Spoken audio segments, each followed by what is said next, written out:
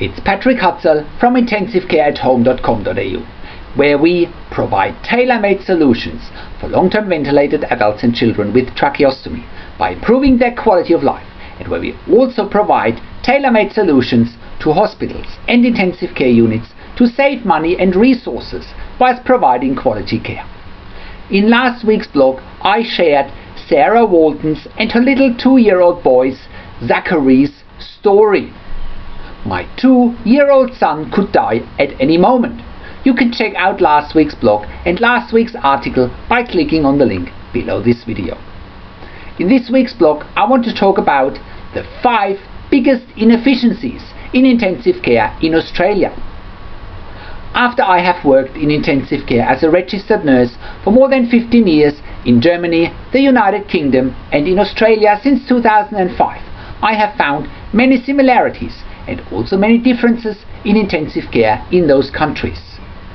The main difference that still strikes me is that long-term ventilated adults and children with tracheostomy in the UK and in Australia are still kept in intensive care for weeks and for months on end without ever having the option to go home with a specialized intensive home care nursing service like intensive care at home it still makes me wonder that a first world country like Australia is lagging so far behind when it comes to extending intensive care services into a home care environment for long-term ventilated adults and children with tracheostomies.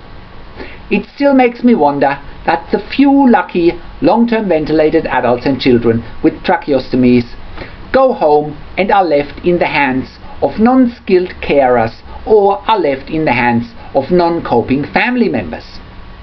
It still makes me wonder how any service provider who is not working with critical care trained nurses to look after long-term ventilated adults and children with tracheostomy can even think about offering such services. It also makes me wonder that in a first world country such as Australia, some long-term ventilated adults and children with tracheostomy in intensive care are being made NFR or not for resuscitation because people can't perceive a viable and suitable alternative such as intensive home care. Care for long-term ventilated adults and children with tracheostomies in their own home is still such an under-resourced area in Australia and yet it ties right in with what I believe are the five biggest inefficiencies in intensive care in Australia. Let's look at those inefficiencies in detail. Number one, long-term ventilated adults and children with tracheostomy cost health services, departments of health, private health insurances, and also the taxpayer around $5,000 per bed day.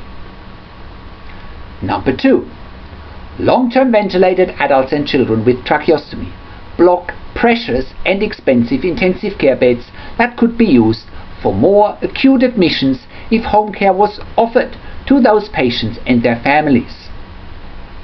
Number 3.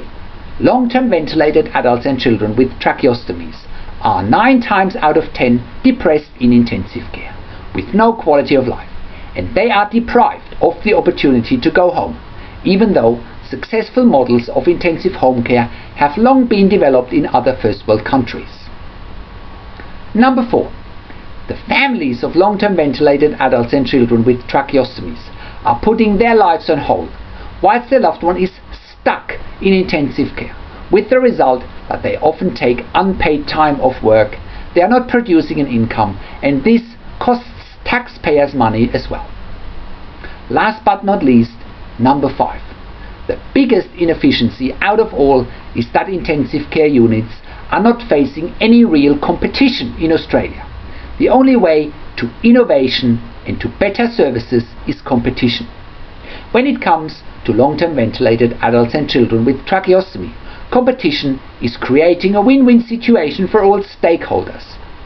Empty bed for intensive care units, it's saving money, it's an improved quality of life for patients and their families, and most of all, it's choice for intensive care units, for patients and for families. What are your thoughts? Do you think that Australian intensive care units are efficient when it comes to long-term ventilated adults and children with tracheostomies? Leave your thoughts and comments on the blog. Please also note that intensive care team is a preferred provider for Queensland Health Services as part of the hospital in the home tender. Thank you for tuning into this week's blog. This is Patrik Hutzel from intensivecareathome.com.au and I'll see you again in another update next week.